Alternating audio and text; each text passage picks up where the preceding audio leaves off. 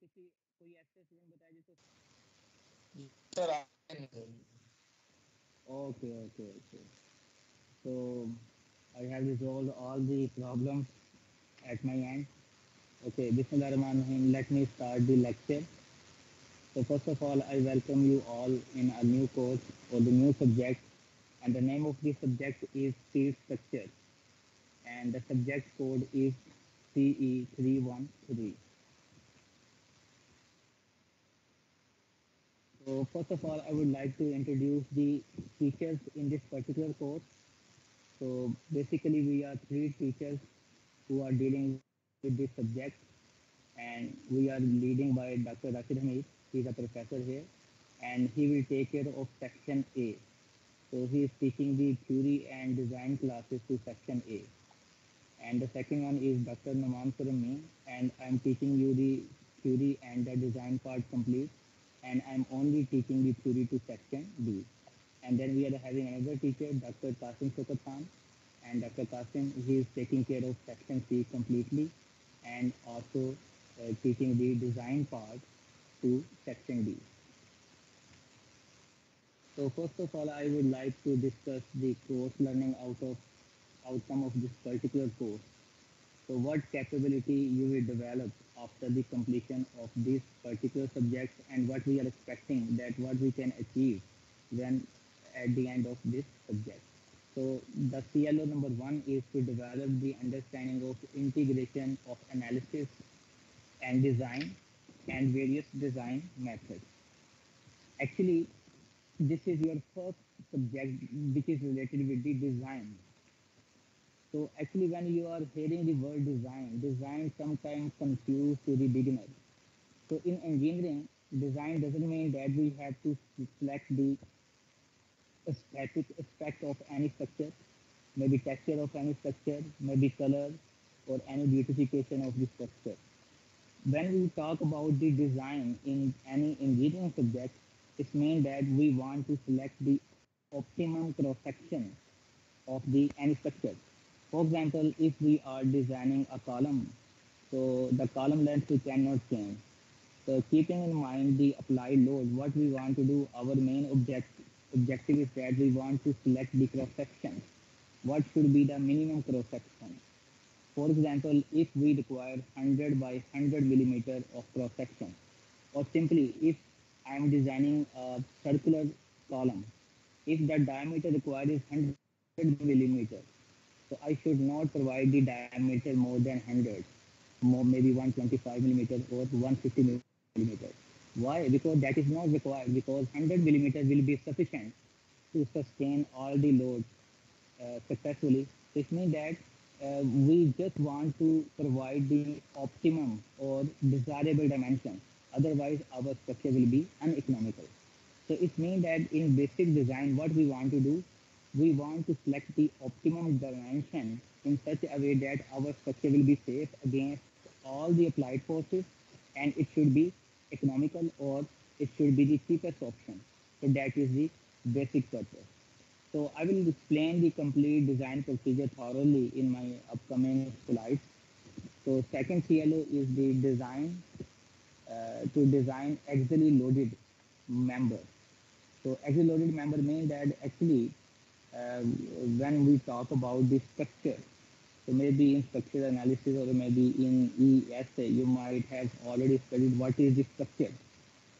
So actually structure is uh, assembly of various elements. So element means that beam and column which are joined together and all members they are having certain behavior and this behavior is the function of the load against that member is subjected to. So if you will see that uh, if we are talking about the structure, so structure can be uh, idealized into various type of the element. So element means that uh, we are having a line element. In a line element, one dimension of structure is very large as compared to the other dimension. For example, we can idealize beam and column or beam and column, these are the line element. Why line element? Because the length of the member is very large as compared to the cross section. And further, if the line element, they are subjected to axial force. Axial force means that if the forces uh, are parallel to the length of the member, then this line element, they are referred as a column. So these axially loaded members, they may be subjected to compression or they may be, may be subjected to tensile loading. So here we will learn that if a member is subjected to axial load, so this axial load may be compressive or tensile and how to design this member. Design member mean that what is the behavior of that member against compression or tensile loading. So accordingly, we will select the optimum dimension. So our CLO number three is related with the, again, the line element, but that line element which is subjected to transversal loading. Transversal loading means that the load is acting perpendicular to the length. So if line element, they are subjected to transversal loading, so that this line element, it will be referred as a beam. So in beam, you uh, already having the knowledge of mechanics of material and elementary structural analysis. So whenever a beam is subjected to any type of loading, maybe UDL, UVL, or moment, so there are two internal forces uh, are induced within the beam, and these forces are the bending moment and the shear force. And due to the bending moment, the flexural stresses are produced, and due to shear force, the shear stresses are produced in the beam. So in this uh, particular uh, uh, topic, we will learn that how to design a beam to safely uh, uh, withstand these flexural stresses and bending stresses, in particular uh, for this steel structure. And our last, sorry, the fourth CLO is related with the connection of steel structure. So we will see also in our upcoming slide that what thing, which is a what is the basic parameter which distinguish the steel structure from the uh, conventional reinforced concrete structure is the connection. So in steel structure, actually we design the beam and column separately. Maybe we are fabricating in factories and we are just transporting this member in the field and where we join them together. And when we are joining, so we have to use certain devices which are called connections. So these connection may be welded, may be bolted or riveted. So here we are having a variety of the connections. So we will learn that how we can properly connect the two members in such a way that load is safely transferred from the one part to the other part. And the CLO5 is very important and uh, this is to exhibit the commitment toward time management, punctuality and honesty. So 10% marks are dedicated for this particular CLO and how I will assess them this can be assessed by your assignments, maybe your uh, class attendance and other things. Uh, for example, if you are submitting the assignment late, so you will get obviously the less uh, reward for that. And similarly, I, uh, for even for the online lecture, um, I will download the attendance and I will check them for how long or how much time a student was uh, available online for this particular lecture. So these are the assessment methods. Actually, maybe this time we have to change this assessment. So usually what I used to do, I don't prefer to take the quiz uh, with exam. Actually, the basic purpose of the quiz is to prepare the student for the examination. So I used to take the first quiz in six weeks, six weeks, and the second uh, quiz in the 13th week, so that the student they come to know their shortcomings for the examination.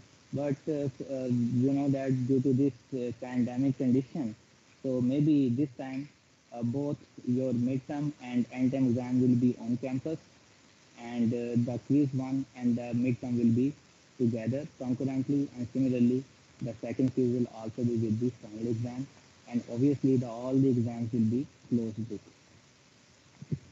So these are some course policies that I enforce during my lecture. So class attendance is very important. So as per university rule, so maybe uh, 70, you must have 75% attendance to sit in this final exam. So this point number one, maybe it is not applicable in online classes, but after the midterm when you will have on-campus classes, So you have to follow this particular rule also. So there is something that I will have to tell you in advance. Uh, I never tolerate any kind of cheating. So I expecting honesty from the students. So if I find anybody in cheating or in some other uh, malpractices, so I simply fail that student, even though he's having maybe 80 marks or 90. So students work, if I'm giving you the assignments, so the, all the assignments will be given with certain due date or certain deadline.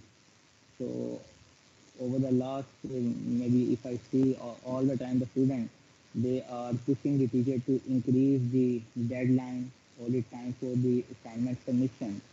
But for me, I never extend the deadline. But I believe that the deadlines are there to train the students uh, to meet their particular deadline. So I'm expecting that the students they will be able to complete all their assigned work within the due time.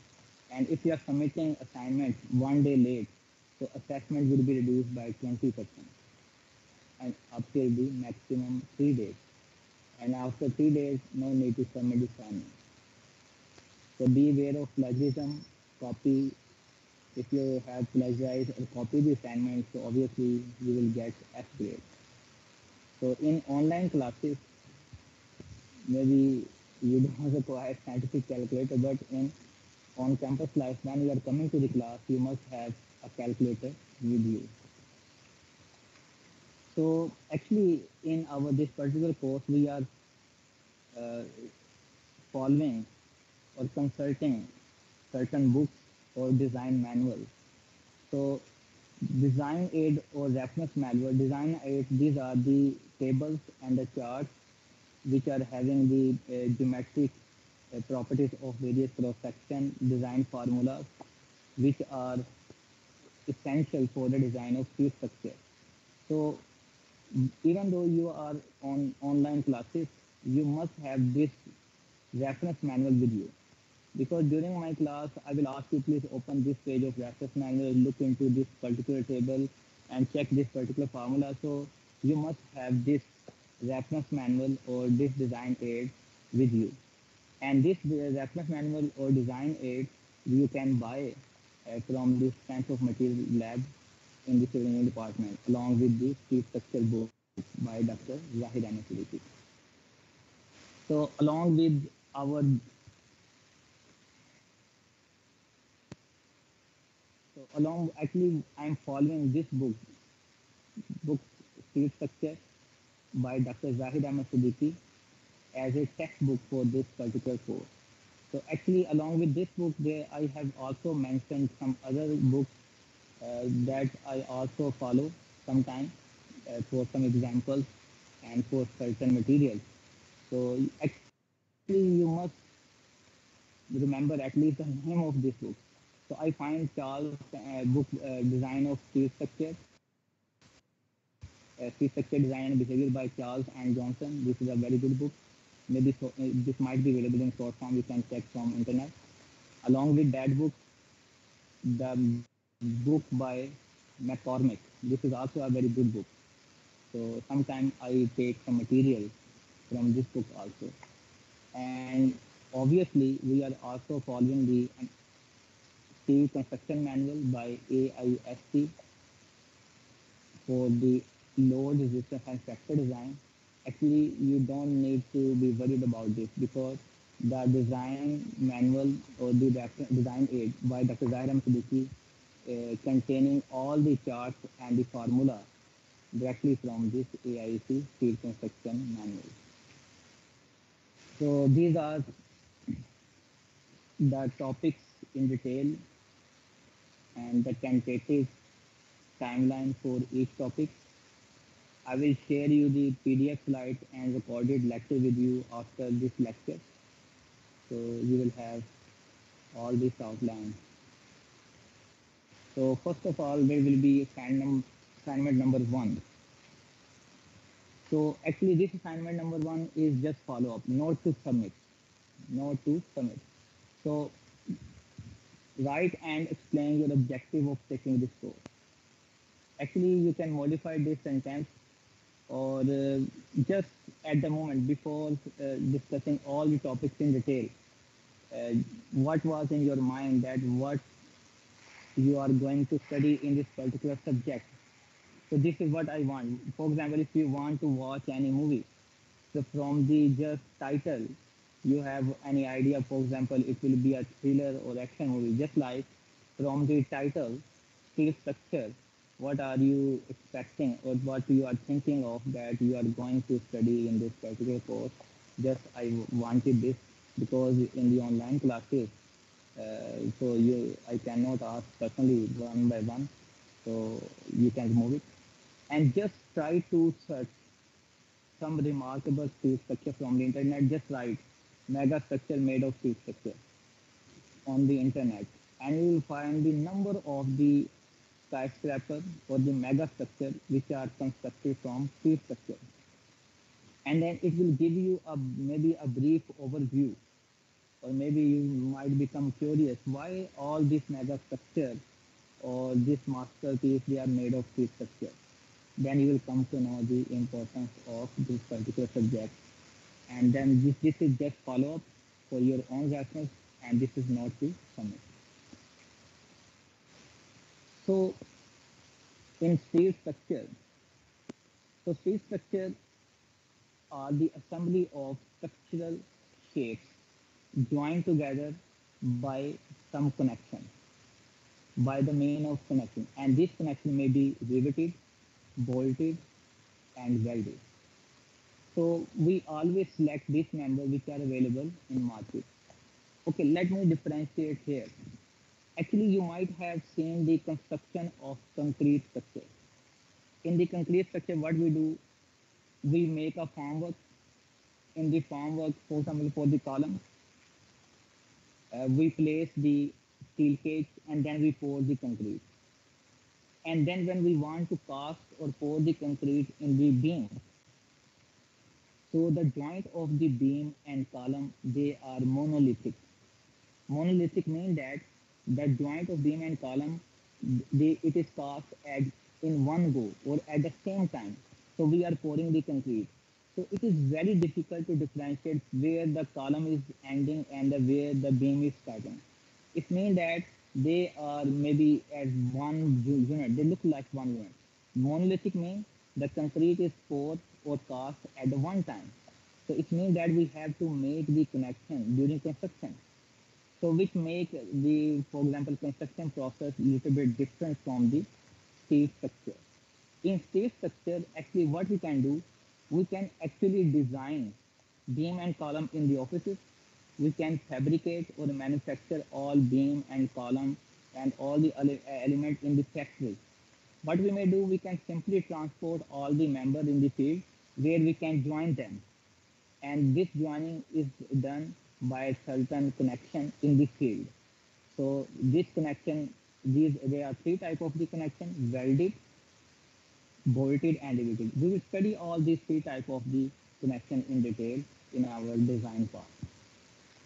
Okay, first of all, I would like to ask all of you, what is the structure? So, for example, uh, at the start, I told you that the structure is comprised of various elements.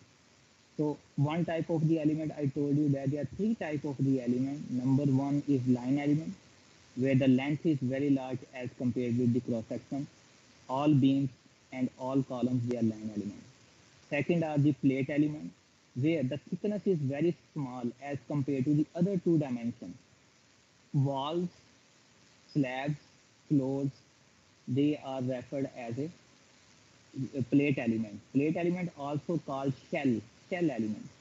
And third element are brick element, brick where all the three dimensions they are important or comparable. For example, isolated footing, large footing, they are uh, referred as a brick element so here a structure is the assembly of various elements which are capable of withstanding all the applied loads safely and then transfer the load from one part to the other part. For example, I will give you the example in a simple structure. Maybe you can take the example of uh, you are sitting in classroom uh, in, for example, in the university, for example, in C1. So if someone is sitting on the first floor, so his load is acting on the slab. So slab is capable of resisting the load safely. Resisting means that slab is not being deformed or deflected due to load. This is the first concept. It should be stable. And then slab is transferring the load to another line element, which is beam. And beam, they are also carrying this load or taking the load from the slab safely. And then they transfer the load to the column. Column, they are also capable of resisting the load safely. They are not being deformed. And then they are transferring the load to the foundation and then from the foundation load to go to the ground. So a structure is comprised of various structural uh, uh, various structural elements which are capable of withstanding or bearing the load safely and then transfer the load from one part to the other part or one member to the other member. So this thing I have also explained, complete structure are easily joined together by monolithic construction, but special methods are required to join the individual member in steel structures. And this special technique I have told you might be riveted, bolted or welded. So another difference uh, from the concrete structure is that in concrete, mainly in concrete, we can make uh, the size of the column and beam as desirable. Mostly, actually, we select the size of the beam and column multiple of 75 millimeter or 3 inch for our convenience. But anyhow, for any special case, we can select any desirable shape of beam and column in concrete by selecting the uh, size of the formwork. But for the steel structure, we have to select the cross section or the shape of the section which is available in the market. We have to see. For example, in this slide, you are seeing that there are different type of the section which are available in market. So number one is the hot rolled section. In hot rolled section, why they are called hot rolled? actually uh, they are made in molten form. What we do, we are having a steel, which is called the billet steel, or maybe it might be scrap. So what they do, they melt this steel and put in the mold. And when they are pouring the molten steel into the mold, when it becomes hardened, then we attain this type of the shape. So these shapes are attained at the hot state from the molten steel. So we can make any desirable shape, for example, this is the solid rectangular bar. This is solid circular bar. This is a hollow circular pipe section. This is channel section. This is I section or wide flange section, rectangular hollow pipe section, angle section, and flat bar. So we can uh, make different type of these shapes, which are called steel section. This is I section, angle section, channel section, pipe section, and solid section. For example, if in the market, I, I want to select, for example, this section as a column, rectangular hollow, but this is not available in the market, then I have to select maybe this, if it is available in the market. So it means that we have to do the survey of the market also. So what type of the sections are available so that I can select among the uh, among the available sections. So there are other type of the steel section which are referred as a cold form section. Why are they cold form? Because they are made at the room temperature. Actually, we are having steel sheet, very thin steel sheet, and we cut this steel sheet and we press in some press. And after pressing and providing the bend, we attain this type of the shape. So we can attain a channel shape, this Z type shape or different type of shape. And we can also provide some bend also here. So actually this process is carried out at room temperature. So that's why these are referred as a cold form section and sometimes also referred as a thin walled section. Because in the cold form section they are made of thin steel sheets. But on the other hand in hot rolled, so their dimensions or the thicknesses are larger as compared to the cold form section. So these are the steel plates which might be used in the floor or in wall to cover up the gap between beam and column. You might have seen this type of the sheet in buses uh, in the floor. This may have some pattern. For example, these are the steel diamond plates or they might be plain. So there is another example. Typical frame structure which is made of steel. Here you can see that this is the first floor maybe. You can see these are the beams and these are the columns and beam and column they are connected by certain connection and here they have used the bolted connection and somewhere they have also used the welded connection. So this is frame structure which is comprised of beam and column. So a close view of the connection you will see in this slide and here you will see that this is the column which is joined by beam from all the four sides and here you will see that we have used an auxiliary or an extra angle section portion. One part of the angle section is welded with the web of beam and other part is used as to connect with the flange or with the uh, column. So here the connection they have used bolt. So bolted connection, this is a bolted connection and the bolts they are used to connect beam with the column. And here they have welded the beam with the column by using the welding connection. So we can use any appropriate connection. So both connections they will be safe as far as if all the design uh, uh, specifications are considered. So this is a typical outline of the beam and column joint.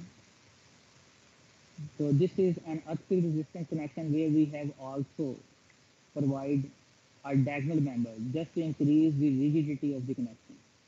So this is not frequently used, but in some earthquake resistant structure to provide extra moment carrying capacity, so we have to use it.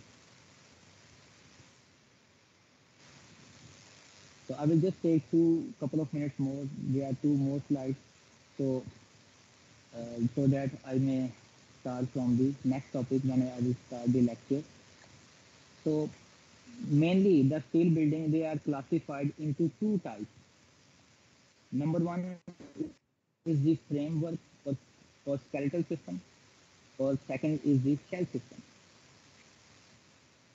In skeletal system actually the main load carrying system is comprised of line elements which are or one dimensional element which are connected by some connection Main loaded carrying elements in this type are one-dimensional or line elements, which are beam and column. And there are examples are framework of industrial building with their internal members such as crane girder and platform. We have also seen one example in the previous slide. Highway and railway bridges, multi-story building, large halls, domes, towers, electric poles, space trusses or trusses structural component of hydraulic work, all the trusses and rigidly connected frame structure. These are the example of skeleton system. And in the shell system, actually shell is another word which is used for the plate or the plate element. Plate element where the thickness is very small as compared to other two dimensions. The main load carrying element in this categories are the plates. So examples are gas tanks for the storage and the distribution of the gas, water tanks and reservoir for the storage, storage of liquid. Water tank at your uh, home roof is also the shell element. Bins, bunker for the storage of the loose material, pressure structure as a blast furnace, large diameter pipe which are under pressure, not sewer pipes sewerage pipe, only the water supply pipe. And all the other plate and the shell structure are the examples. So actually, will send you this slide after this lecture, maybe by evening tonight. So here you will see the usage of this structure in different, for different purposes. And I believe that all these slides, they are self-explanatory Please overview this slide before the next class and if you will have any question, then I will answer. So when I will start the next lecture, I will start from this part, merits and demerits of steel construction. So here I would like to stop my lecture. So I would like to ask any question.